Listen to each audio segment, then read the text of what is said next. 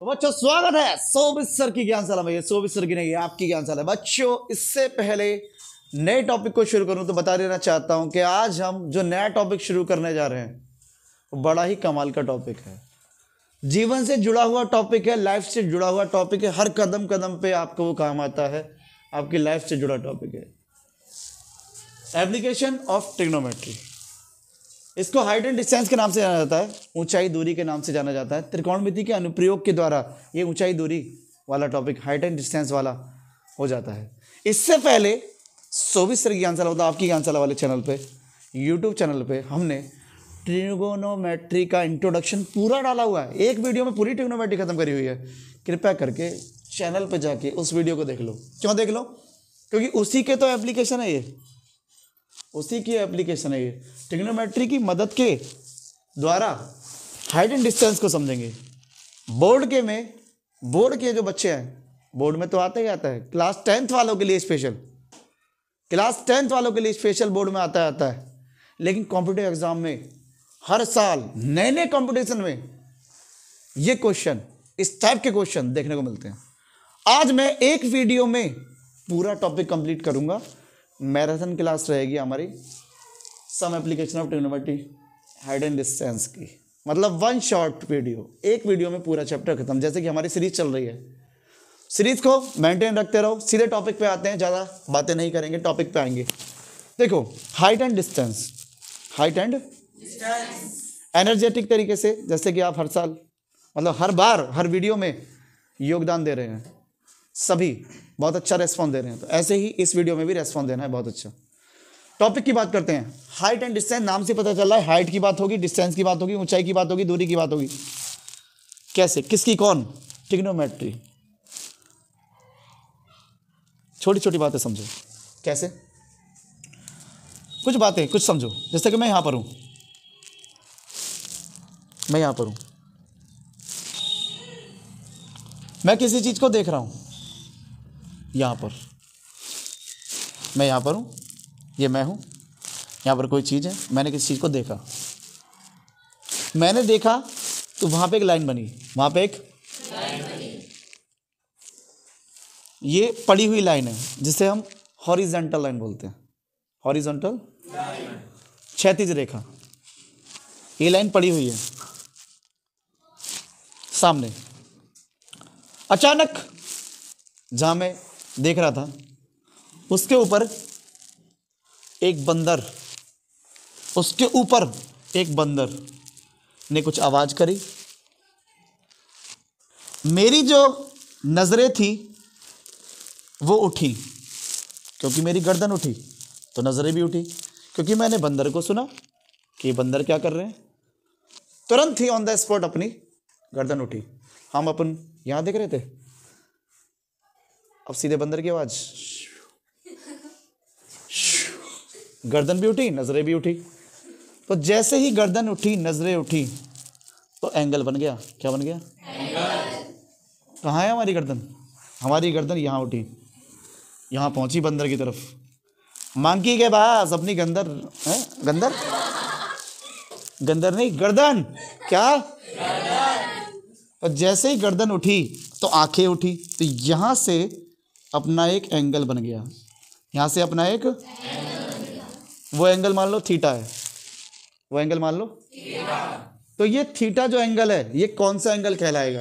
पहला पॉइंट तो यही होगा। हो गया, नहीं हो गया? ये एंगल क्या कहलाएगा? ये एंगल उठा हुआ एंगल कहलाएगा। हमारी नज़रें झुकी हैं या उठी हैं? हमारी नज़रें उठी हैं, हमारी गर्दन उठी है तो नज़रें उठी, हमने ऊपर किसी चीज़ को देखा था। पहले हम हॉरिजेंटल लाइन में थे, यहाँ किसी चीज़ को देख रहे थे। लेकिन अब हमने बंदर को देखा और गर्दन उठाई। तो हमने एंगल को क्या करा? एलिवेट किया। क्या किया? Elevate. इसको एंगल ऑफ़ एलिवेशन बोलते हैं। क्या बोलते हैं? एंगल ऑफ़ एलिवेशन क्या? एंगल ऑफ़ एलिवेशन मतलब उठा हुआ एंगल। उठा हुआ? हिंदी वाले इसको उन्नयन कोण बोलते हैं। उन्नयन कोण। अपनी नैन नैन मतलब आँखें। नैन को उसने उठा दिया तो उन्नयन हो गया। तो नैना तो उठेंगे ही। जब बंदर आएँगे, हम ऐसे देख रहे हैं। तुरंत बंदर ने हमला करा, हमने ऐसे देखा। और बंदर देख के स्माइल कर रहा है। बंदर देख के? क्योंकि वो बंदरिया के साथ बैठा हुआ था। वो डरा कि ऐसे ना हो कि पत्थर पत्थर मारे, क्योंकि उसका एक बच्चा भी है। तो उसने खी खी करी। क्या करी? खीखी खी। खी खी करी। अब यहाँ पे एक बात और समझ में आई कि बंदर ने हमें भी देखा है इसका मतलब। बंदर ने हमें भी देखा ना देखा शेखर? Yes, शेखर तू तो लंबा इतना है कि बंदर तुझे सबसे पहले देख लेगा। यस और नो मेरे भाई हमने तो बंदर को देखा देखा लेकिन उसने भी देखा। उसने भी देखा। कितना कमाल का टॉपिक है बंदर देखा देखी चल रही है। है ना बढ़िया टॉपिक समझिए बात को? एप्लीकेशन लगा रहे टिग्नोमेट्री के भी थोड़ी देर में। ये रहा बंदर अपना। ये रहा हम ये रहा बंदर। ये हम हो गया ये बंदर हो गया। ठीक मंकी अब जैसे ही बंदर ने देखा तो पहले बंदर कहीं और ध्यान लगा रहे थे। यहाँ वहाँ वहाँ। मान लो मैंने सोचा कि बंदर जो थे वो यहाँ देख रहा था बंदर। बंदर बंदरिया बंदरिया का परिवार बच्चे सब यहाँ देख रहे। सब कहाँ देख रहे? तो ये इसके लिए कौन सी लाइन है? जो ये लाइन थी। हॉरिजॉन्टल? यस और नो हॉरिजॉन्टल मतलब सीधा सीधा क्षैतिज रेखा पड़ी लाइन। सीधी सीधी रेखा बोल सकते हैं क्षैतिज लाइन बोल सकते हैं पड़ी हुई लाइन बोल सकते हैं हॉरिजॉन्टल लाइन बोल सकते हैं। हॉरिजॉन्टल लाइन क्षैतिज रेखा। सीधी सीधी। अब वो यहाँ देख रहा था अब वो हमको देखने के लिए अपनी गर्दन झुकाएगा। गर्दन झुकाएगा नहीं झुकाएगा? yes, अब वो गर्दन जब झुकाएगा तो यहाँ पे एक एंगल बनेगा। यहाँ पर एक एंगल बनेगा। यहाँ पर भी एक एंगल बनने वाला है मेरे बच्चे। क्यों सौरभ? Yes, एंगल कौन सा बनेगा? इस बार नज़रें उठाई है झुकाई है? नज़रें झुकी तो तुम दिख गए। अब तुम दिखे तो या तो तुम डरो या वो डरे। तुम ही डरोगे क्योंकि उनकी फैमिली बैठी हुई है आप अकेले में हो। और खिर खिर और कर दी उसने तो उसके बाद तो मेरे भाई भागम भाग चालू। भागम भाग? फिर ना खड़े हो पाओगे तुम जब एक बार उन्होंने खौफ दिखाया। तो इसलिए वहाँ से निकलना बेहतर है। क्योंकि एक बार बंदर ने काटा तो कई इंजेक्शन लगने पड़ सकते हैं? और इंजेक्शन से हमको डर लगता है, ठंड वैसी हो रही है। इसलिए नज़रें झुक गई। नज़रें यहाँ पर एक एंगल बना है थीटा एंगल और इसका नाम क्या होगा? झुका हुआ एंगल क्या होगा अर्थात angle of depression angle of depression में आ गया। डिप्रेस मतलब समझते हो ना? आदमी जब झुक जाता है फॉर्म में रहता है तो एलिवेट होता है एलिवेशन लेकिन जब उसका डिप्रेशन आता है तो वही अपनी नज़रों को झुका लेता है। अपनी नज़रों को झुकी झुकी सी नज़र। ये जगजीत सिंह का गाना खैर मैं कहा सिंगर बन गया बीच में। तो अब क्या हो गया? नयन झुक गए। नयन तो angle of depression angle of यहाँ लिख देते हैं कोई दिक्कत नहीं है। एंगल ऑफ़ डिप्रेशन देखो डिप्रेशन की स्पेलिंग बच्चा गलती कर देता है। पहले तो डी लिख दो। क्या लिख दो? फिर प्रेस लिखो। P R E double S press हो गया। और फिर सन लगा दो। आई ओ एन सन हो गया। आई ओ एन सन हो गया।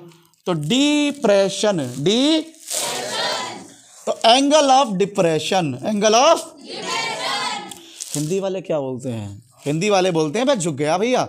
मतलब मैं अवनमन हो गया। नमन मतलब झुकना। अवनमन। अव तो ये अवनमन एंगल बन गया अवनमन कौन बन गया। तो समझ में आया क्या? yes, बच्चे बहुत बड़ी गलती करते हैं बहुत बड़ी गलती। क्या करते हैं? मैं बताता हूँ गलती कहाँ होती है। वो ये पहचान ही नहीं पाते कि एंगल ऑफ़ डिप्रेशन कौन सा है। अवनमन कौन कौन सा है? वो पहचान ही नहीं पाते। वो क्या करते हैं कि बंदर यहाँ बैठा हुआ है मैं यहाँ पर हूँ। बंदर ने मुझको देखा बंदर ने मुझको देखा तो वो पता क्या करें? वो यहाँ पे बहुत बड़ी गलती करते हैं कि बंदर ने देखा है तो ये वाला एंगल है। कौन सा एंगल है? ये वाला एंगल वो इसे बताते हैं थीटा। तो ये है या नहीं? या सर नो बिल्कुल गलत है। बिल्कुल? ये बहुत बड़ी गलती होती है। बोर्ड वाला बच्चा कॉम्पिटेटिव एग्ज़ाम वाला बच्चा बहुत गलती करता है। क्योंकि लैंग्वेज आती है। लैंग्वेज में ये सब बातें होती हैं। कोई खंबे पे बैठा हुआ है, कोई छत पे बैठा हुआ है, कोई बंदर डाल पे बैठा हुआ है, कोई कोई और बैठा हुआ है, कोई पंछी बैठा हुआ है, कोई, समझ रहे हो? नई नई लैंग्वेज मिलती रहती है। लैंग्वेज को समझ के जो बच्चा डायग्राम बना देगा, वही बादशाह है हाइट एंड डिस्टेंस का। एप्लीकेशन के तो एक आध फॉर्मूला लगा देंगे टिग्नोमेट्री की तरह। टिग्नोमेट्री का फॉर्मूला लगा देंगे, मैं लगाना बताऊँगा। लेकिन सबसे बड़ा टास्क क्या है? सबसे बड़ा टास्क ये है कि हमें लैंग्वेज को रीड करना है। और इमेजिनेशन करना है। डायग्राम बनाना है। डायग्राम बनाते ही पचास पचास सवाल तो वहीं खत्म हो गया। डायग्राम बनानी तो कला है। उस डायग्राम में गलती यहाँ होती है बेटा। कहाँ होती है गलती? यहाँ पे। एंगल ऑफ़ डिप्रेशन अवनमन कोण में बहुत गलती होती है। कैसे मैं बताता हूँ आपको। इस गलती को ना हो, इसका क्या सॉल्यूशन है? कि अगर ये गलती हो ही ना। अगर ये गलती आप नहीं चाहते हो तो आप क्या करा करो? आप हॉरिजॉन्टल लाइन पे ध्यान दिया करो। किस पे? अगर आप यहाँ से मंकी आपको देख रहा है, आपको? आप मतलब आई। कोई भी हो सकते हैं। मंकी आपको देख रहे हैं। तो वहाँ पे हॉरिजेंटल लाइन कौन सी है? वहाँ पे हॉरिजेंटल लाइन? उस पर ध्यान दो। पहले वो यहाँ देख रहा था मंकी। अब खुद ही इमेजिन करो कि मंकी यहाँ देख रहा है, उसकी आँखें यहाँ पर अब आँखें उसने झुकाई हैं, क्योंकि गर्दन भी झुकी है तो आँखें भी तो एंगल ये वाला तो हुआ। बताओ। हुआ नहीं हुआ? हुआ? अब जब उसने नज़रें झुकाई, खिरखिर करी तो खिरखिर में तुम्हारी गर्दन भी उठी। तुम्हारी गर्दन भी तुम पहले कहाँ देख रहे थे? तुम्हारी हॉरिजेंटल लाइन किधर है? ये रही। तुम्हारी हॉरिजेंटल लाइन ये रही। और इनकी हॉरिजेंटल लाइन ये थी बंदर की। हॉरिजेंटल लाइन हॉरिजेंटल क्षैतिज रेखा। पड़ी रेखा। सीधी रेखा। 180 यहाँ पे वो हम यहाँ देख रहे थे। अब उसने खिरखिर करी, हमने नज़र उठाई। हमारी गर्दन उठी, नज़र उठी, अब नज़र उठी। तो यहाँ पे एंगल बना ये वाला। तो ये एंगल भी क्लियर हो गया, कभी ज़िंदगी में गलत नहीं करोगे। यहाँ पर भी बहुत से बच्चे घबरा जाते हैं। एंगल ऑफ़ एलिवेशन एलिवेट करा आपने। क्या करा आपने? उन्नयन कोण। नैनो को उठाया। यहाँ पे एंगल अब ये एंगल और ये एंगल की एक कंडीशन है। बता दूँ क्या कंडीशन है? yes, भाई ये दोनों एंगल बराबर हैं। ये दोनों एंगल क्या आपने ज्योमेट्री में नहीं पढ़ा था? और वैसे भी इमेजिन करो। वैसे भी। यार तुम एक जगह खड़े हो बंदर भी एक जगह खड़ा है। वो एक जगह है आप एक जगह हैं। आपने हॉरिजेंटल लाइन से एक एंगल देखा क्योंकि आपने नज़रें उठाई। और उन्होंने हॉरिजेंटल लाइन ही ली है सीधी लाइन और नज़रें झुकाई है। तो एंगल बराबर बैठेगा नहीं बैठेगा? Yes, एक तो ये तरीका हो गया समझने का। रीतिका दूसरा तरीका समझ। दूसरा तरीका। दूसरा तरीका समझो। दूसरा तरीका क्या? आओ समझो। इधर आ जाओ। भाई अगर ये हॉरिजेंटल लाइन है ठीक है? बंदर वाली। ये हमारी लाइन थी। ठीक बा? Yes, हमने ज्योमेट्री में एक बात सीखी थी। हमने ज्योमेट्री में एक बात सीखी थी ध्यान दो। कि अगर कोई लाइन ऐसे काटती है। किसी पहला लाइन को, किन्हीं दो पहला लाइन, कोई दो समांतर रेखाएँ और एक रेखा आई और उसने काट दिया इंटरसेक्ट कर दिया, प्रतिच्छेद कर दिया। तो यहाँ पे कुछ एंगल बनते हैं। यहाँ पे कुछ बनते हैं। ध्यान है आपको? तो अगर मैं ध्यान से देखूँ, ये वाला एंगल तो क्या ये एंगल मुझे बनता हुआ ये वाला नहीं दिख रहा? क्या ये वाला एंगल ये वाला नहीं बन रहा? देखो ध्यान से फ़ोटो देख लो बिल्कुल। ये हॉरिजॉन्टल लाइन है अपनी से और बढ़ा दूँ थोड़ा सा? छती देखा को? बढ़ा दूँ? लो भाई, इसको मैंने बढ़ा दिया। इसको मैंने बढ़ा दिया। बढ़ गया? ये जो हॉरिजेंटल लाइन है, इसको भी आगे बढ़ा दूँ? बढ़ गया? अब ये जो है तिरछी लाइन इसको मैंने बढ़ा दिया। बढ़ा दिया? अब यहाँ पे एंगल बना, थीटा। सेम एंगल यहाँ पर बनेगा, theta. Because of that geometry का रूल है कि एक पहला लाइन एक पहला लाइन तिरछी लाइन कटती है। तो दो एंगल बनते हैं, दोनों एंगल एक दूसरे के बराबर होते हैं। बिकॉज़ ऑफ़ दैट ये कौन सा एंगल है? क्या कहते हैं इन एंगल को बराबर होते हैं? ये जेड वाले एंगल है पहली बात तो। इनको हम जेड वाले एंगल कह सकते हैं। ये बात एक पहचान में आ गई। दूसरा क्या नाम है? अल्टरनेटिव एंगल बहुत बढ़िया। अल्टरनेटिव एंगल एकांतर कौन? एकांतर कौन बोलते हैं इनको? Alternative angle alternative alternative angle है। कौन से एंगल वो भी अंदर की तरफ़ से, वो भी इंटरनल आंतरिक रूप से, अंदर से, अंदर वाले हैं इंटरनल तो ये इंटरनल या इंटरनली या इनर अल्टरनेटिव एंगल है। हिंदी में बोले तो एकांतर कोण, कौन से कोण? एकांतर कोण। दोबारा बता देता हूँ मैं, जिस बच्चे को दिक्कत है। इधर ध्यान दो। देखो, एक लाइन ये रही, एक लाइन ये रही तिरछी लाइन कटी तो कटने में कुछ एंगल बने। एक एंगल ये बना, एक एंगल ये बना, हमेशा बराबर होंगे। क्यों बराबर होंगे? क्योंकि ये अंदर की तरफ़ से अल्टरनेटिंग एंगल बनाते हैं। कौन सा एंगल जिसे हिंदी में एकांतर कोण बोला जाता है। इसको पहचानने का एक तरीका है कि सीधी लाइन ये है, सीधी लाइन ये है जेड वाला जो बनेगा जेड वाला जो एंगल बनेगा, ये जो जेड से एंगल यहाँ पे बनेगा, यहाँ, ये बराबर बैठेगा। ठीक है? और यहाँ पर भी यही बात हो रही है। और वैसे भी तुम समझ चुके हो कि बंदर यहाँ बैठा था, हम यहाँ बैठे थे यहाँ पर एक्यूरेट फिक्स है, वो एक्यूरेट फिक्स है, यहाँ से हमने हॉरिजेंटल लाइन देखनी है। यहाँ से हमने क्या देखनी है? मैं दोबारा इस बात को यहाँ बता देता हूँ। यहाँ से देखो, हम यहाँ है। ये बहुत ज़रूरी बात है पूरे एप्लीकेशन की, इस चैप्टर की, ये बहुत इंपॉर्टेंट बात है। एक बार फिर देखो, हम यहाँ पर हैं। हम यहाँ पर हैं, हमने हमारी हॉरिजेंटल लाइन किधर है? इधर। हमने हॉरिजेंटल लाइन हमने एक बंदर को देखा? हमने एक बंदर को? बंदर को देखते हमारी नज़रें उठेंगी नहीं उठेंगी? ये रहा बंदर हमने उठाया यहाँ पर। अब बंदर यहाँ देख रहा पहले उसकी ओरिजेंटल लाइन यहाँ पर है। बंदर यहाँ देख रहा था? अब उस बंदर ने जैसे वो डरा कि भाई ये बच्चा या ये कोई भी व्यक्ति हमें देख रहा है हम उसको देख रहे हैं तो वो अवेयर हो गया। अवेयर हो गया तो अवेयर हुआ तो उसने खिरखिर करा। खिरखिर करा तो उसने गर्दन झुकाई। गर्दन झुका के हमें देखा। हमें देख के ही तो खिरखिर करी है। तो गर्दन झुकी तो यहाँ पे एंगल बना। अब हम भी यहाँ पर हैं, वो भी यहाँ पर है ओरिजेंटल लाइन है ओरिजेंटल लाइन है। ये एंगल इस एंगल के बराबर होगा या नहीं होगा? यस नो बहुत बढ़िया। तो ये हो गया आपका एंगल ऑफ़ डिप्रेशन और ये हो गया आपका एंगल ऑफ़ एलिवेशन मतलब उन्नयन कोण, नयन को उठा लिया। अब नमन कोण, नमन झुका लिया तो दोनों एंगल बराबर होंगे। प्रॉपर्टी क्लियर तो ये आपके तीन बात बताई कि उन्नयन कोण क्या होता है, अवनमन कोण क्या होता है? एंगल ऑफ़ एलिवेशन क्या होता है एंगल ऑफ़ डिप्रेशन क्या होता है? और दोनों के बीच में क्या रिलेशन है? दोनों एंगल बराबर होंगे। अब हम एक काम करते हैं। अब हम इन एप्लीकेशन को लगाते हैं। इन टॉपिक्स को कॉन्सेप्ट को हम सवालों में लगा के बताते हैं कि वो लगेंगे कैसे और आंसर कैसे आएगा। अब हम टिग्नोमेट्री का यूज़ करते हैं और आंसर को लेके आते हैं। तो मिलते हैं एक क्वेश्चन के साथ में। चलिए देख लेते हैं एक क्वेश्चन आ जाओ तो क्वेश्चन देख लेते हैं। क्वेश्चन बड़ा ही अच्छा है, बढ़िया क्वेश्चन है, बेहतरीन क्वेश्चन है।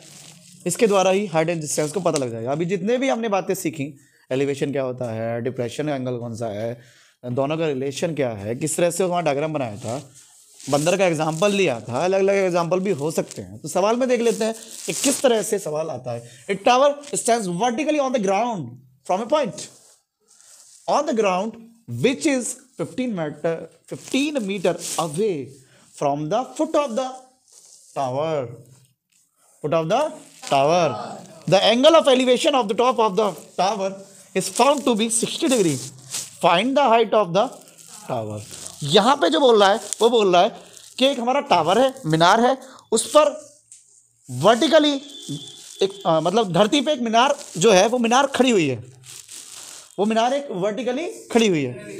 हॉरिजेंटल लाइन तो ऐसे होती है। जो मैंने बताया था हॉरिजेंटल लाइन तो ऐसे होती है। लेकिन वर्टिकल लाइन कैसे होती है? ऐसे। यस नो तो धरती पे, देखो फिगर बनाना बहुत बड़ी कला है। फिगर जिसने बना लिया, उसका कमाल हो गया। वो क्वेश्चन कर देगा बड़े पैर से। ये धरती है अपनी। समझ रहे हो? और इस धरती पे, उसने बोला ग्राउंड पे वर्टिकली एक टावर स्टैंड है। और टावर खड़ा हुआ है टावर खड़ा हुआ है।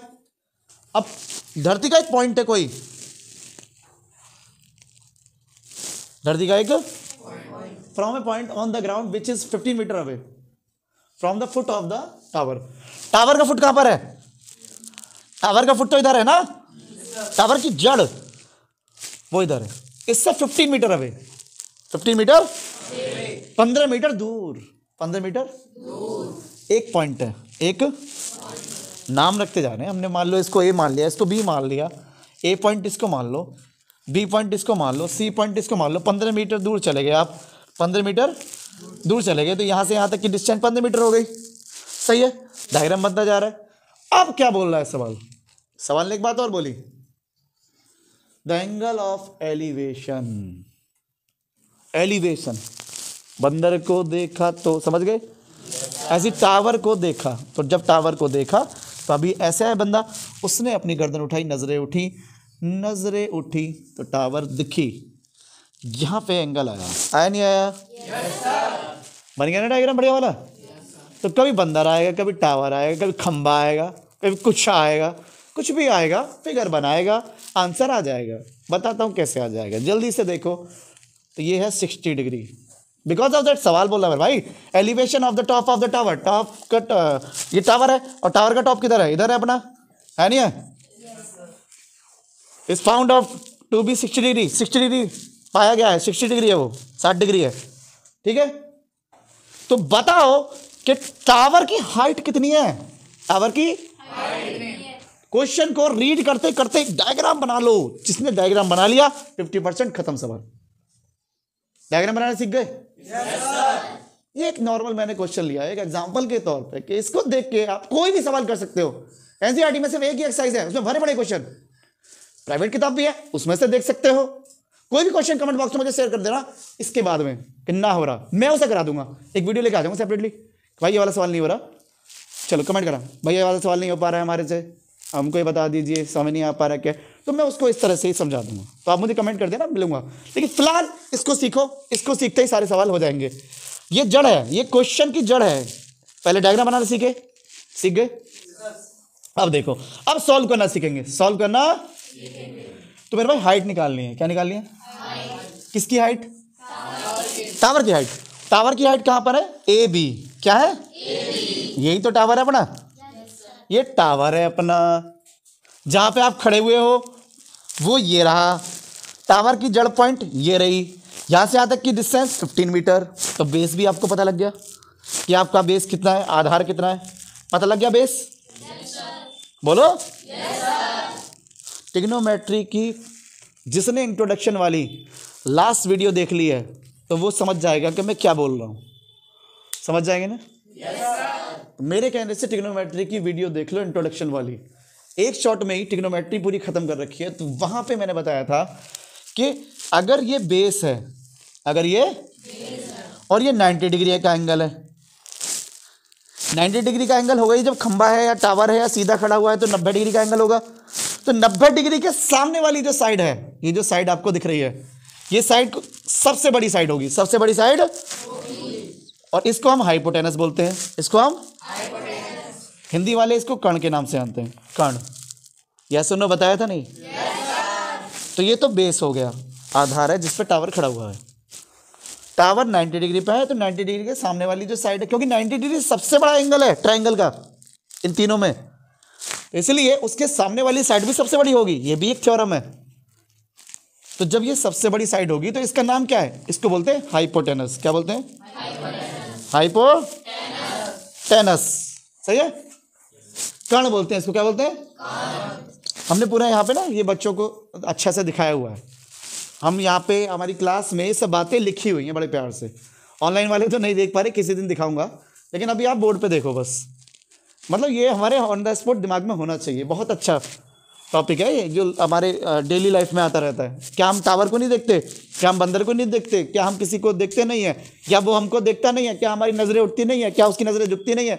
ये सब बातें लाइव एग्ज़ाम्पल की डेली लाइफ की है ऐसा नो yes, तो भाई टिग्नोमेट्री की एप्लीकेशन तो आपके लाइफ की है। इसमें कोई घबराएगा नहीं। बहुत आसान टॉपिक है पूरे नंबर देके जाएगा। आज बोर्ड में क्लास टेंथ वालों के लिए भी और कॉम्पिटेटिव एग्ज़ाम के लिए भी पक्का। सीख लो।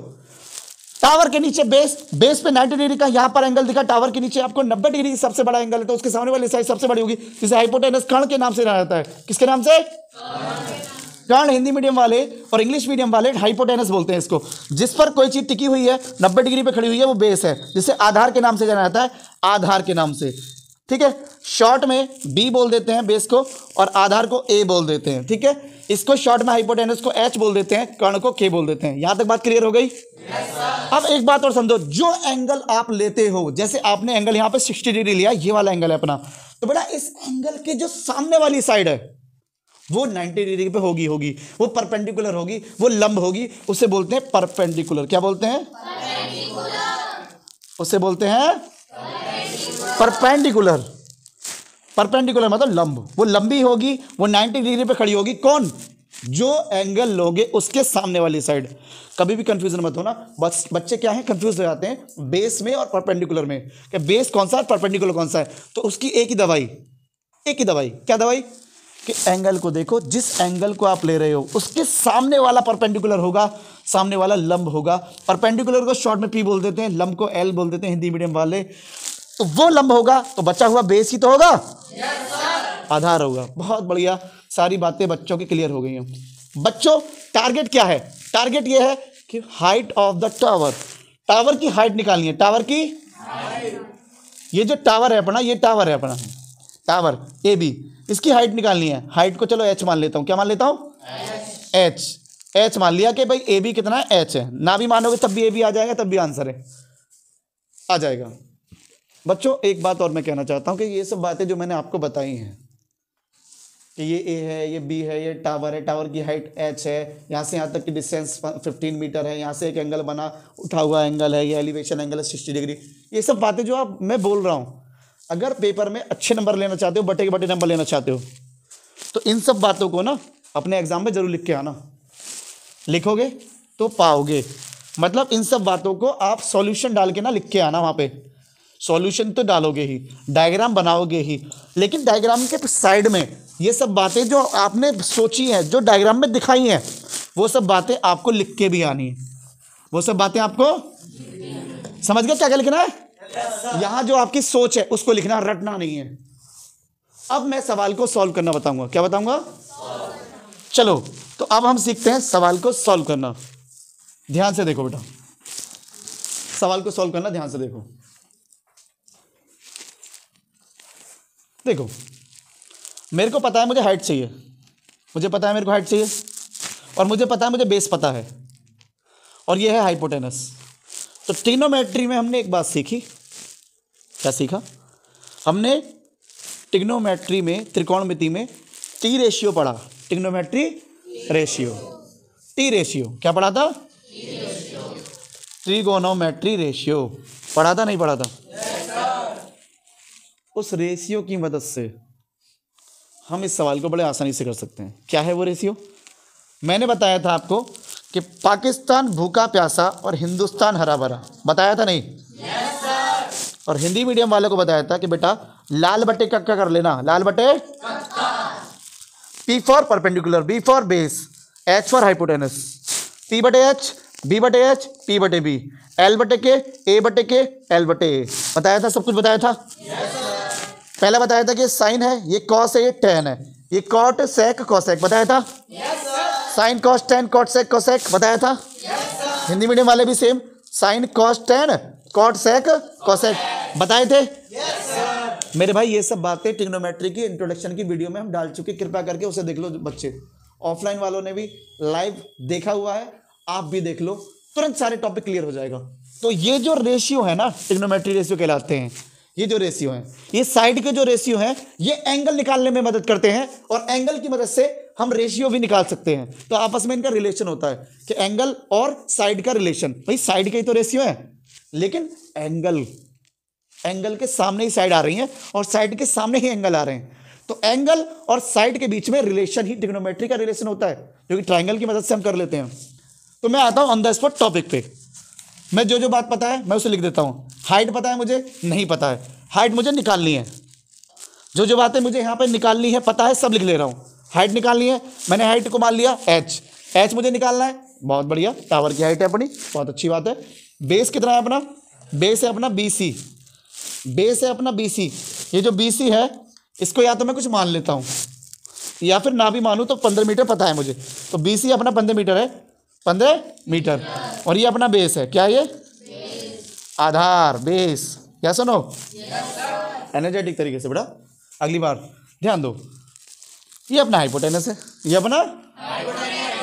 क्या ऐसा कोई जादू हो जाए जिससे हमारा सवाल बिना मतलब हाइपोटेनस की ज़रूरत ही ना पड़े और इनसे हो जाए? बिल्कुल हो जाएगा। इसलिए तो लिखा था पाकिस्तान बुका पैसे हिंदुस्तान लाल बटे सब फोकस रखो। स्किप कोई नहीं करेगा। अब आ रहा है असली मज़ा। असली मज़ा आएगा। ये सवाल का सोल्यूशन आप निकल के आ रहा है। बताने को तो मैं इसे दो लाइन में बता सकता आंसर तुम्हारे कदमों में आ जाता है। लेकिन मैं चाहता हूँ इस सवाल की मदद से कोई सा भी सवाल अटको ना। डायग्राम भी बना दो सॉल्यूशन भी कर दो, कभी भी। ऐसा, ऐसी जड़ी बूटी दे रहा हूँ। ब्रह्मस्त्र दे रहा हूँ। डायग्राम बनाना सीख गए, अब सॉल्यूशन करना सीखो। बेटा, देखो, ये बात याद रखो कि हमें निकालना क्या है, ये क्या रखा है। एक हमें ये साइड पता है, एक हमें ये साइड पता है और एक हमें एंगल पता है। एक हमें ये तो बात क्लियर है? अब ये तीनों का रिलेशन चलने वाला है अपना। ये बात याद रखो जो ये जो साइड दे रखी है वो कौन सी साइड है? जैसे हाइट जो दे रखा है एच जिसे तुम बता रहे हो ये क्या है? ये परपेंडिकुलर है या नहीं? Yes, ये परपेंडिकुलर है ना? क्योंकि एंगल के सामने बताया था परपेंडिकुलर लंब है ना ये? Yes, तो ये है परपेंडिकुलर वाली हाइट लंब वाली जिसे एल भी बोलते हैं हिंदी मीडियम वाले। बेस तो फिक्स है ये बीसी क्या है? बेस आधार। तो इसको हम आधार बोलते हैं बेस बोलते हैं शॉर्टकट में बी भी लिख सकते हैं, आधार को ए भी लिख सकते हैं। एच हो गया परपेंडिकुलर और पंद्रह मीटर हो गया बेस परपेंडिकुलर को मैं पूरा लिख देता हूँ परपेंडिकुलर ठीक है? ये अपना क्या है? परपेंडिकुलर क्या है अपना? एच और ये हमें निकालना है। जिसे हिंदी में क्या बोलते हैं? लंब। क्या बोलते हैं? अब बेटा एक बात बताओ लाल बटे कक्का से या पाकिस्तान भूखा प्यासा, हिंदुस्तान हरा भरा से।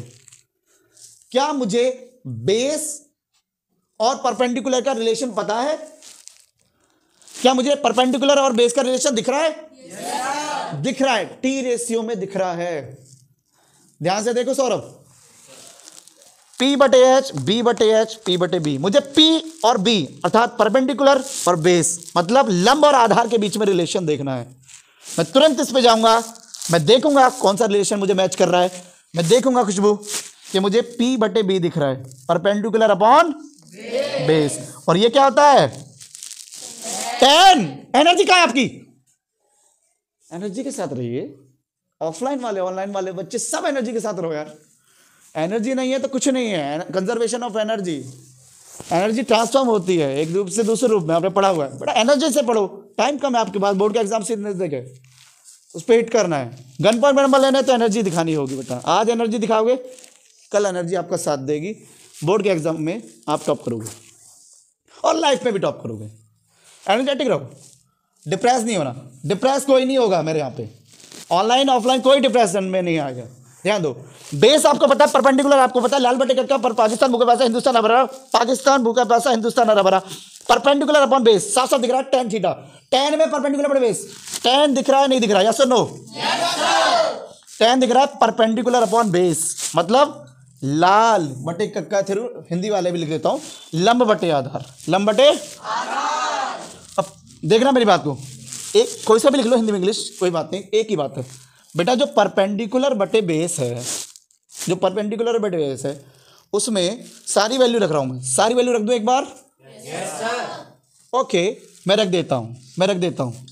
थीटा जो तूने दिया बेटा वो थीटा दिया तूने सिक्सटी डिग्री। कितना दिया? 60 तो सिक्सटी डिग्री तो हो गया थीटा। ठीक है? अब परपेंडिकुलर पे ध्यान दे। परपेंडिकुलर पे ध्यान दे। परपेंडिकुलर कितना बड़ा? एच क्या है? पता नहीं है। निकालना है। हाइट ही तो निकालनी थी वही तो परपेंडिकुलर था वही तो लंब था। बहुत बढ़िया। और जो बेस है मेरे भाई बेस जो है वो बीसी है। वो? बीसी है। वो पंद्रह मीटर है। वो? अब तुम्हें पता है कि अगर कोई तीन बात है, तीन में से अगर तुम्हें दो बात मिल जाए तो तीसरी बात तो निकल जाएगी। यही तो मैं समझाना चाह रहा हूँ पिछले कुछ मिनटों से। यही समझाना चाह रहा हूँ कि ये ये बात सीखो। पहले डायग्राम बनाना करो। डायग्राम में से ना तुम्हें ऑटोमेटिकली अगर डायग्राम सही बना रहा है डायग्राम अगर सही बन रहा है ऑटोमेटिकली तुम्हें तीन बातें पता होंगी, जिनमें से दो बातें तो तुम्हें दी होंगी और एक बात निकालनी होगी। तो जब तुम्हें तीन बातें हैं जब तुम्हारे पास तीन बातें हैं शिखर आदित्य तनु जब तीन पॉइंट हैं और दो पॉइंट तुम्हें पता पड़ गए तो एक पॉइंट निकालने में क्या दिक्कत है? निकल जाएगा ना? Yes, और उसके लिए पाकिस्तान भूखा पैसा हिंदुस्तान हरा लाल बटे कक्का। कोई बुरा मत मानना कि मैंने पाकिस्तान भूखा पैसा हिंदुस्तान हरा बोल दिया। बुरा नहीं मानना है। बुरा नहीं मानना है। चीज़ों को समझो मैथमेटिकल इसको लगा देना। लगाने के बाद सीधे पुट करना। पुट करते ही तुम्हारे पास वैल्यू निकल के आ जाएगी कैसे?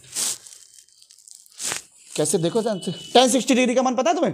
Yes, जिसको नहीं पता अगेन टिग्नोमेट्री की इंट्रोडक्शन पे पहुँच जाओ। मैंने वहाँ पे कला बता रखी है ये रहा कैसे सिक्सटी डिग्री निकालते हैं कैसे हम अंडरवुड में finger below and finger above ले लेते हैं और टेन सिक्सटी की वैल्यू ले लेते हैं। फिंगर वाला तरीके बताया था टेबल वाला तरीके बताया था बहुत बढ़िया बढ़िया तरीके बताए थे। चैनल पे डला हुआ है। उसको देख लो टेन सिक्सटी का मान अगर ना पता हो चुटकियों में, एक बार में उस टेबल को देख लो। टेन सिक्सटी हो टेन थर्टी हो फोर्टी फाइव हो नाइनटी हो साइन हो कॉस हो, कुछ भी हो। टेबल कंप्लीट वैल्यू में कोई प्रॉब्लम नहीं आने वाली। टेबल के अलावा भी दूसरा तरीका बताया फिंगर्स वाला। उससे भी कोई सी वैल्यू निकाल सकते हो। साइन निकाले कॉस निकाले टेन निकाले दुनिया निकाले कुछ भी। वो ज़रूर देखो। उससे दिक्कत नहीं आने वाली। जिसको ये नहीं आती, वो अधूरा रह जाएगा, वो यहाँ तक जाएगा। लेकिन एक बात और डिप्रेशन में नहीं आना। डिप्रेशन में नहीं आना। क्यों? अगर आपने डायग्राम बनाया, सारी लैंग्वेज आपने लिख दी लैंग्वेज लिखने के बाद वैल्यू छाट ली वैल्यू छाटने के बाद आपने फॉर्मुला लगा दिया फॉर्मुला लगाने के बाद तब पहुँच गए। तब भी स्टेप बाय मार्किंग में आपको नंबर मिलेंगे। बोर्ड का ये रूल है। बोर्ड का ये रूल है कि स्टेप वाइज मार्किंग आपको मिलेगी। बच्चे को जितना उसने किया है, उसकी मेहनत के लिए नंबर मिलेंगे। तो कोई नहीं, घबराओ मत। लेकिन फिर भी पूरे नंबर मिले तो उसका अलग ही जलवा होता है। पूरे नंबर के लिए आप मतलब प्लीज़ वीडियो देख लो मतलब वाली। अच्छा रहेगा। टेन सिक्सटी डिग्री की वैल्यू देख बेटा। टेन सिक्सटी बताइए। टेन सिक्सटी थ्री बताइए। देख टेन में क्या वैल्यू होती थी? Zero one upon root three और देख, उसके बाद वन आता है। उसके बाद? उसके बाद रूट थ्री आता है। यार है? और फिर नॉट डिफाइंड होता है, जिसे इन्फिनिटी बोलते हैं। देखो zero degree thirty degree forty five degree sixty degree and ninety degree ये वैल्यू टेन की थी या नहीं थी? तो सिक्सटी डिग्री की वैल्यू कितनी मेरे पाई under root three root three जिसे हम बोलते हैं। ओके yes, तो ये हो गया रूट थ्री ये हो गया एच ये हो गया फिफ्टीन सही है? Yes, पूरी दुनिया को पता है बचपन से जब पैदा हुए तो मैथमेटिक्स में थोड़ा बहुत सीखे तो एक बात बताई थी टीचर्स ने कि बीच में अगर इक्वल है तो कैची कर दे। क्या कर दे? कैची। कैची क्रॉस मल्टीप्लाई क्या कर दे? तो पंद्रह को इधर पहुँचा दे और मल्टीप्लाई कर दे बेटा। यहाँ पे लिख देता हूँ तो एच जो हाइट थी वो पंद्रह को आपने फिफ्टीन को आपने इधर पहुँचा दिया रूट थ्री के पास में तो फिफ्टीन रूट थ्री मल्टीप्लाई में करके आ गया। ये हाइट आई है ना? Yes, आपने शुरू में माना था परपेंडिकुलर जो हाइट थी वो आपने माना था ये टावर की हाइट आ गई। किसकी हाइट आ गई? Height of the tower tower की ऊंचाई। तो ऊंचाई आपकी निकल के आ गई पंद्रह रूट थ्री लेकिन एक गलती और बच्चा कर देता है। बता दू? Yes, बच्चा ये कर देता है कि अगर वो टावर की हाइट निकाल रहा है उसने निकाल दी पंद्रह रूट तीन वो ऐसे ही छोड़ देता है। अरे आपने जब हाइट निकाली है खुद की हाइट भी नापते हो तो सेंटीमीटर मीटर कुछ होता है यूनिट नहीं होती है? Yes, यूनिट लिखना भूल जाता है? बेटा ध्यान देना सवाल में मीटर हो तो मीटर लिखना सेंटीमीटर सेंटीमीटर दुनिया हो तो दुनिया लिखना। दुनिया क्या? कुछ भी यूनिट लिख दो। क्या लिख दो? इकाई यूनिट मात्रक कुछ भी ना पता हो तो इसे लिख दो। वरना सवाल में देता है उसे लिख लो। सवाल में मीटर दिया है। सवाल में? तो मीटर लिख दिया। आई बात समझ में? अब अच्छा सा ब्रैकेट लगा के जब तुम सुंदर सुंदर A N S W E R लिखोगे तो फुल नंबर मिल जाएँगे। फुल नंबर एक बार मैं बता दूँ हमने क्या करा है? देखो, ये सवाल था सवाल था, एक सवाल हमने लैंग्वेज में देखा, बड़ा अटपटा लग रहा था, लेकिन जब हमने इंट्रोडक्शन की पूरी वीडियो देख लिया है, उसके बाद हमें बहुत लॉलीपॉप लगने लगा है। ये बिल्कुल लड्डू क्वेश्चन हो चुका है। कैसे? एक एक स्टेप को हम पढ़ते चले गए। कि वर्टिकली है वर्टिकली देखा मेरे भाई, एक टावर आ, मतलब टावर खड़ा हुआ है वर्टिकली और वो बेस पे खड़ा हुआ सीधी सी बात है वो पंद्रह मीटर पंद्रह से मीटर दूर है। पंद्रह मीटर बंदा एक दूर है जो वहाँ पर खड़ा हुआ है उसके फुट से। यहाँ पे फिर उसने किसी को देखा एलिवेशन करा। टावर को देखा किसको देखा? वो भी टावर के टॉप को देखा। तो टॉप को देखा तो एंगल उठेगा नहीं उठेगा? ये टावर है अपना ये बेस है अपना। यहाँ पे टावर को देखा एंगल उठ गया उठा तो सिक्सटी डिग्री उठा उसने दिया। बोला टावर की हाइट कितनी है? टावर की हाइट आपने बोला कि टावर की हाइट मैंने एच मान ली। टावर की हाइट मैंने बेस मेरा उसने दे रखा है बेस पंद्रह मीटर है। बेस आपको एंगल भी दे रखा है। अब आपने देखा भाई, ये तो बात बन गई अपनी। ये परपेंडिकुलर हो गया, ये बेस हो गया और ये एंगल हो गया। परपेंडिकुलर और बेस में हमने रिलेशन पढ़ा हुआ है। पाकिस्तान भूखा प्यासा, हिंदुस्तान बराबर, लाल बटे कक्का से हमने शॉर्ट फॉर्म में देख लिया। पाकिस्तान भूखा प्यासा और हिंदुस्तान हरा भरा। ये लाल बटे कक्का जिसे हम बोलते हैं, लाल बटे यहाँ से हमने एक बात देखी कि परपेंडिकुलर और बेस का रिलेशन है अपना। परपेंडिकुलर बेस का रिलेशन है। Sine cos tan tan theta बराबर पी बटे बी टेन थीटा बराबर तो हमने देखा भाई टेन थीटा बराबर तो पी बटे बी होता है, जिसे लंबटे आधार बोलते हैं परपेंडिकुलर बेस। हमने पी की वैल्यू रखी। पी यहाँ पे जो सवाल में परपेंडिकुलर एच है, क्या है? वही हमें निकालना था पी फॉर एच हाइट निकालनी थी। तो हमने उसकी जगह एच रख दिया। बेस हमारा पंद्रह मीटर था। उसको रख दिया। टेन साठ का मान हमें पता है। उसके लिए हम ज्ञानशाला में तुरंत वीडियो देख लेंगे। इंट्रोडक्शन की सारे एंगल्स के मान देख लेंगे एंगल्स की टेबल वाला मेथड फिंगर वाला मेथड सारे एंगल एक मिनट में क्लियर वहाँ से हम एंगलों की वैल्यू देख लेंगे। अब एंगल की जैसे ही वैल्यू लगाई और क्रॉस मल्टीप्लाई करी तो आंसर तुम्हारे कदमों में आ गया।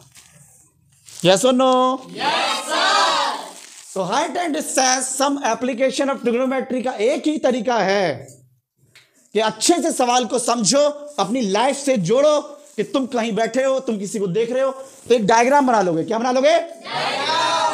डायग्राम बनाने के बाद जब अच्छा सा डायग्राम बन जाएगा तो जो जो बातें उसमें पता है उनका सदुपयोग करोगे। और कैसे करोगे वो मैंने आपको दिखा दिया है। सबसे पहले क्या करना डायग्राम बनाना जो जो बातें पता है उसको लिख देना। कैसे लिख देना? समझो, उसको लिख देना कि ये हाइट है, मैंने एच मानी है, ये बेस है, मैंने पंद्रह मीटर माना, ये एंगल है एलिवेशन एंगल सिक्सटी डिग्री है। ये लैंग्वेज तीन चार स्टेप में, ये अगर आप लैंग्वेज कंस्ट्रक्शन रचना के आधार पे कंस्ट्रक्शन हेडिंग डाल के अगर तीन चार लाइन ये लिख दोगे, पता है कॉपी चेक करने वाले में क्या होगा?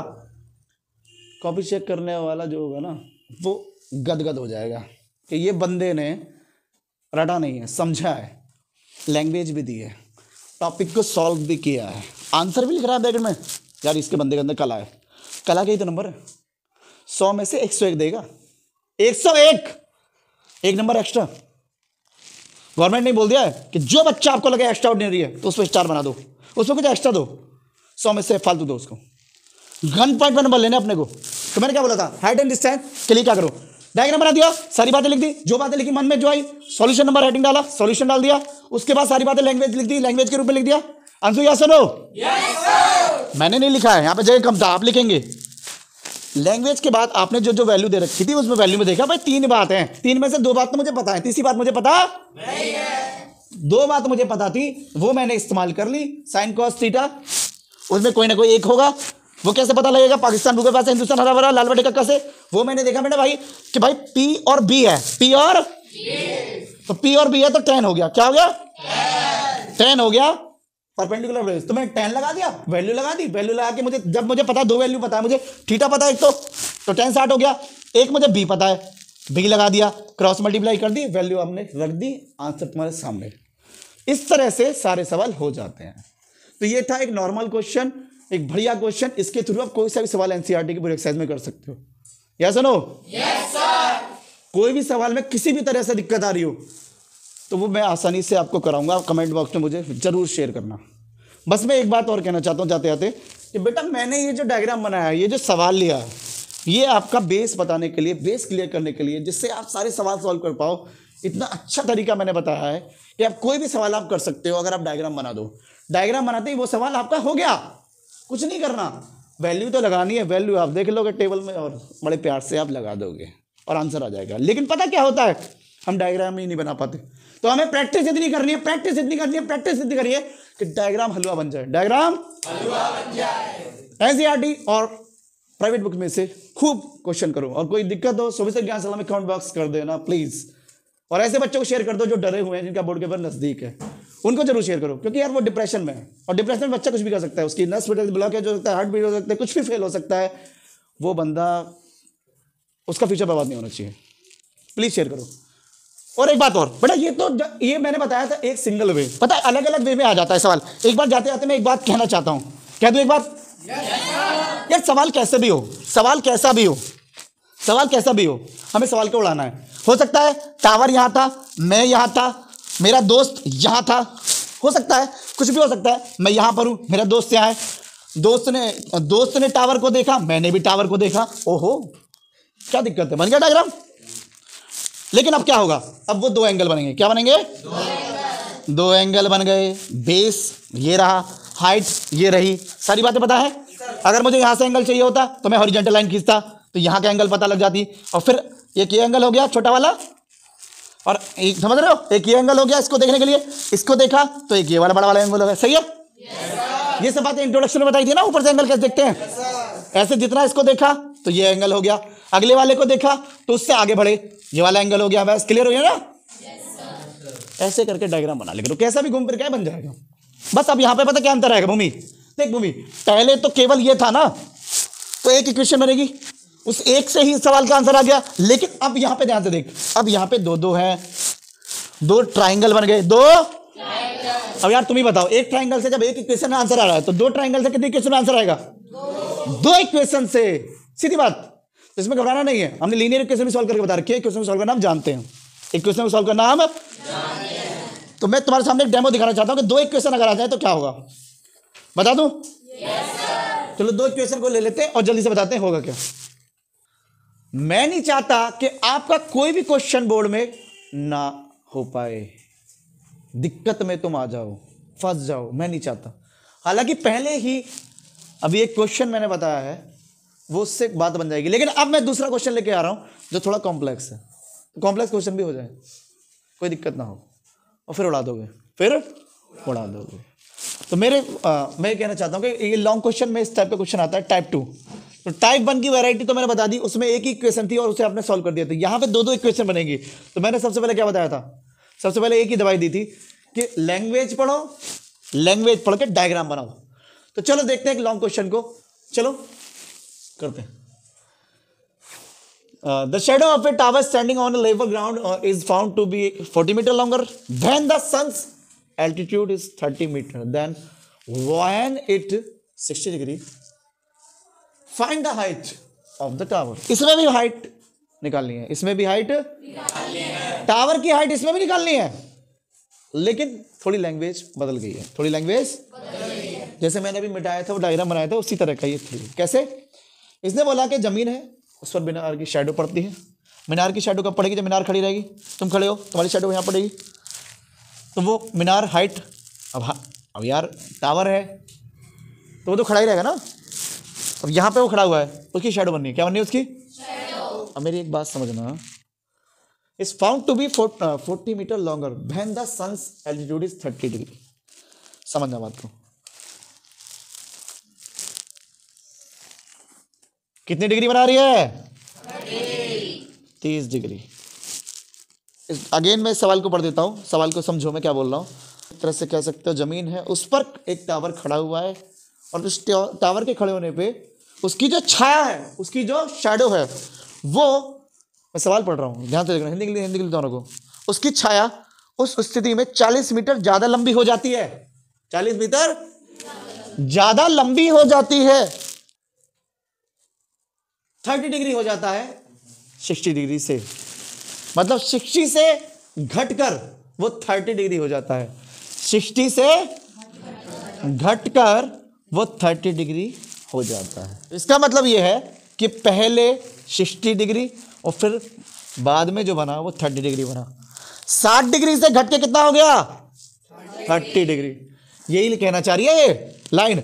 When the science sun altitude is 30 degree then when it when it is 60 degree when it is समझ रहे हो इस क्वेश्चन को? Yes, चलो तो ये हमारा सवाल समझ में आ गया है। अब हम इस सवाल को कर लेंगे। इसमें 40 मीटर लॉन्गर की बात हुई थी। 40 मीटर? इस बात पे भी गौर करो मेरे भाई। 40 मीटर लॉन्गर बोला है। मतलब अगर ज़मीन पे खड़ी थी एक मीनार और उसकी शेडो उस स्थिति में 40 मीटर लंबी हो जाती है जबकि सूर्य का एल्टीट्यूड 60 डिग्री से 60 30 डिग्री हो जाता है। तो इसका मतलब पहले कहीं पे था, मान लो यहाँ से लेके यहाँ तक एक्स मीटर था। क्या था? अब 40 मीटर फालतू हो गया। 40 मीटर लॉन्गर हो गया। क्या हो गया? आदित्य, समझ में आई? समझ में आई? पहले तो यहाँ था, कुछ था। यहाँ से लेके यहाँ तक कुछ डिस्टेंस थी। लेकिन अब 40 मीटर एक्स्ट्रा हो गई है। कितने मीटर? 40 मीटर। एक्स्ट्रा हो गई है। यस और नो और ये काम होने से जो 60 डिग्री था वो घट के कितना हो गया? 30 डिग्री। 60 डिग्री घट के कितना हो गया?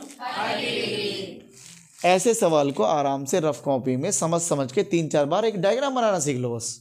अब इस सवाल में ना कुछ भी हलवा सवाल है। पहले एक ट्राइंगल था अब दो दो ट्राइंगल है। पहले एक इक्वेशन बनी अब दो इक्वेशन बनेंगी। दोनों इक्वेशन को मिला जुला के सॉल्व कर देंगे आंसर तुम्हारे कदमों में। निकालना क्या है? Find the height of the tower tower की? मीनार की ऊंचाई निकालनी है। मीनार की ए बी सी डी मान लेते हैं, फिर मीनार को आगे बढ़ाएँगे। ए मान लिया बी मान लो सी मान लो डी मान लो। ठीक है बेटा? मीनार की हाइट अगेन ए बी मीनार है टावर है अपना। टावर है अपना तो इसकी हाइट एच मान लो। क्या मान लो? एच बी से लेके सी तक की डिस्टेंस मैंने एक्स मान ली। उसके बाद ये फोर्टी है, दे रखा है उसने, चालीस मीटर लॉन्गर और हो जाता है। चालीस मीटर लंबा और हो जाता है। तो ये टोटल मिला के कितना हो गया? Forty plus X forty plus कहाँ से कहाँ तक? डी से बी तक। तो ये जो डी बी है या बी डी है वो चालीस प्लस एक्स हो गया। तो मुझे कुछ बातें पता लगी। मुझे कुछ बातें पता लगी। मुझे ए भी पता लगा। ए भी मैंने माना है एच मीटर मेरे को पता है बी सी कितना है? एक्स मीटर मैंने माना है। एक्स मीटर मीटर ये जो मैंने एक्स मीटर है इसके आगे अगर देखूँ डीसी क्या देखो? ये भी मुझे पता है फोर्टी मीटर आगे बढ़ गया वो। तो फोर्टी मीटर दे रखा है डी सी अगेन अगर मैं बात करूँ कि ये बी से सी तक डिस्टेंस है और सी से डी तक है। तो मुझे बी डी पता लग गया। क्या पता लग गया? या फिर मैं डी बी भी कह सकता हूँ उसको? डी से बी तक। तो डी बी पता लग गया मुझे। और फोर्टी प्लस एक्स कितना हो गया डी बी फोर्टी प्लस ये सब मीटर में है। मीटर में। किसमें सब? अब मुझे क्या निकालना टारगेट क्या है मेरा? हाइट निकालना। क्या है? कि हाइट कितने मीटर है? हाइट सारा क्लियर होगा? बेटा, अब यहाँ पे ध्यान दो, जैसे कि मैंने आपको नेक्स्ट बताया था कि आपको दो ट्रायंगल की मदद लेनी है। पहले एक ट्रायंगल की मदद ली थी, और उसकी मदद से आपने सवाल दो मिनट में कर दिया था। ऐसे ही अब सामने दो ट्रायंगल यहाँ पर आपको दिख रहे हैं। कौन कौन से ट्रायंगल दिख रहे हैं? एक बार देख सकते हो। एक ट्रायंगल तो मुझे एबीसी दिख रहा है, और एक ट्रायंगल एबीडी दिख रहा है। देखो, मुझे ट्रायंगल लेने राइट एंगल ट्रायंगल कौन से लेने? बिल्कुल टिग्नोमेट्री के जब हमने इंट्रोडक्शन किया था और इससे पहला सवाल भी दिया था, उसमें हमने 90 डिग्री देखा था। तो 90 डिग्री अपना ये है, सही है? तो एक ट्राइंगल तो ये बन गया और एक ट्राइंगल बड़ा वाला बन गया। छोटा ट्राइंगल बड़ा ट्राइंगल दोनों दिख रहे हैं। एक में 60 डिग्री का एंगल है और एक में 30 डिग्री का एंगल है। बाकी दो साइड भी हमको पता है और तीसरी अपने आप निकल जाएगी। मतलब एक साइड पता है एक एंगल पता है तीसरी साइड निकल जाएगी नहीं निकल जाएगी। यस नो बहुत बढ़िया। पाकिस्तान मुझे पास है हिंदुस्तान? लाल बटे? तो उसको हम लगा देंगे सवाल सेटअप हो जाएगा। तो मैंने क्या बोला था? मेहनत किस पे करनी है? मेहनत करनी है इस फिगर बनाने में डायग्राम बनाने में। जिसने डायग्राम बना लिया उसका फिफ्टी परसेंट सवाल वहीं खत्म। फिर वैल्यू छाड़ दो। जो जो बातें पता है, उनकी लैंग्वेज में लिखना। मैंने जो बोला था, मैं लैंग्वेज लिखवाई नहीं, आप लिखेंगे कि ये इतना मीटर है, ये इसका टावर है, मैंने इतना मान लिया, ये ये फोर्टी मीटर लॉन्गर है। थोड़ी तीन चार स्टेप में लैंग्वेज को लिख लेना। गिवन पॉइंट सारे जो भी है, उनको हम निकाल लेंगे। अब लगा देंगे हम पाकिस्तान बुक पास हिंदुस्तान वाला लाल बड़े कक्का तो उसके लिए लगाने के लिए क्या करेंगे? ध्यान से देखो। उसके लिए लगाने के लिए मैंने जैसे बोला कि ट्राइंगल की हेल्प लेंगे। किसकी? ट्राइंगल तो यहाँ पे दो ट्राइंगल दिख रहे हैं। एक तो मुझे दिख रहा है ए बी सी और एक A B D A B C और ए बी डी छोटे और तो बड़े दिख रहे हैं ना?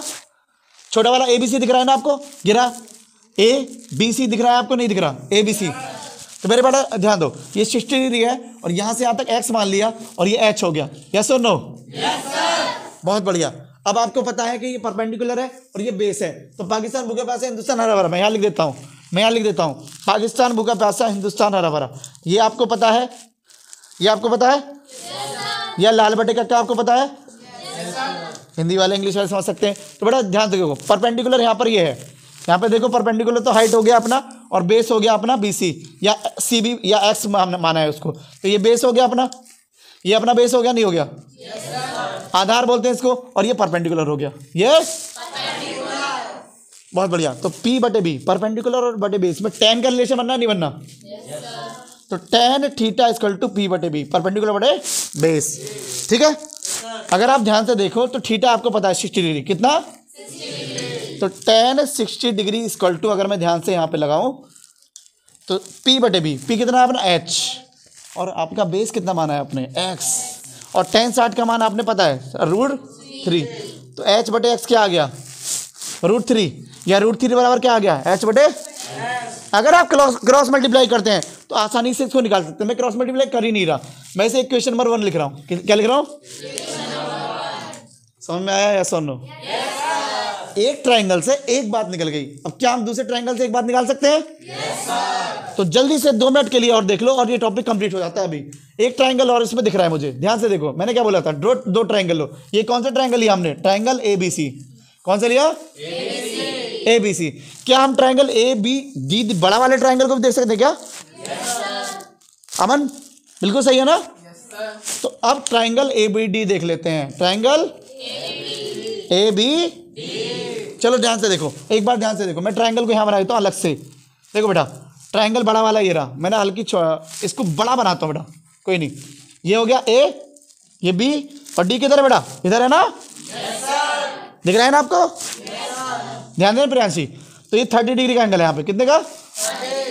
और ये जो पूरी साइड है नीचे वाली, ये जो बी साइड है, ये फोर्टी प्लस एक्स है। क्या है ये?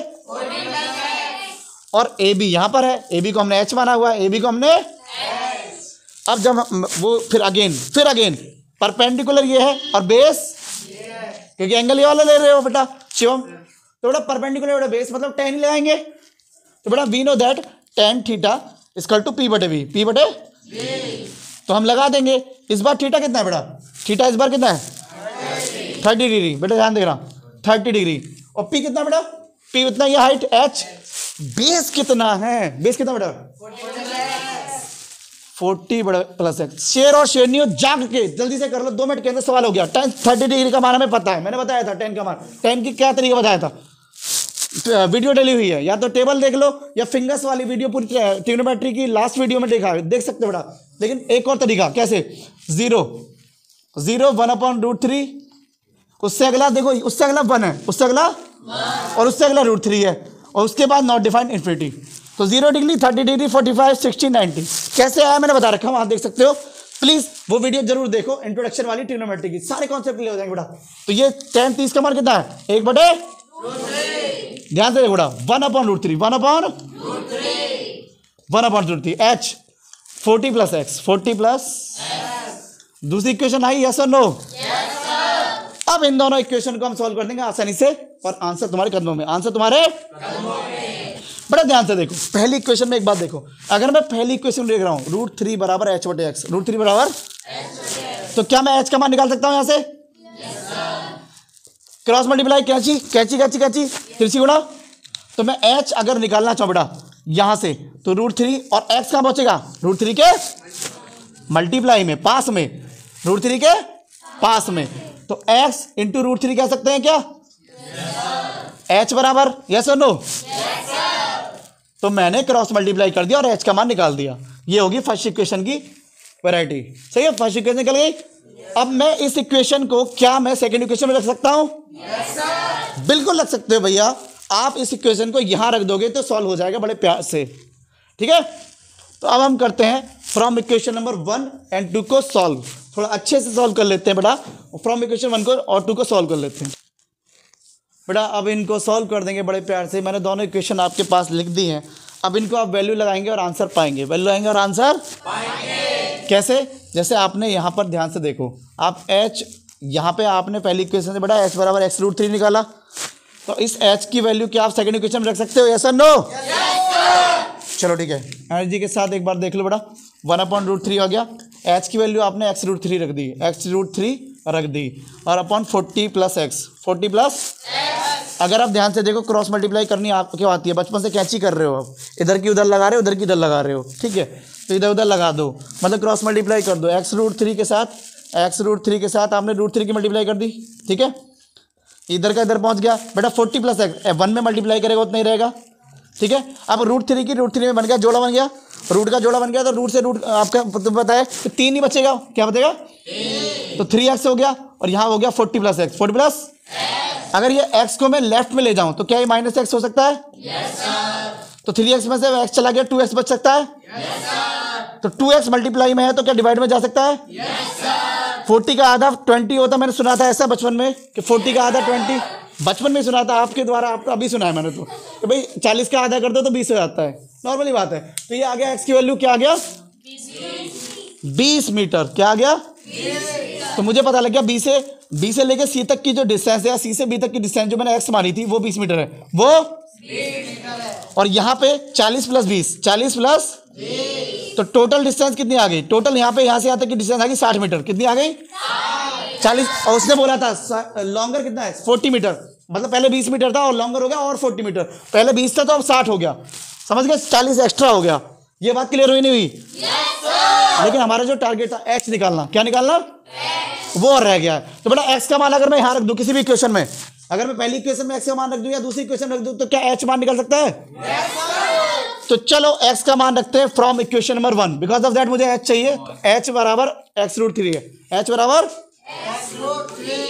तो एच बराबर जब एक्स रूट थ्री है तो क्या मैं एक्स का मान रख सकता हूँ? बहुत बढ़िया. एक्स की वैल्यू कितनी बड़ा?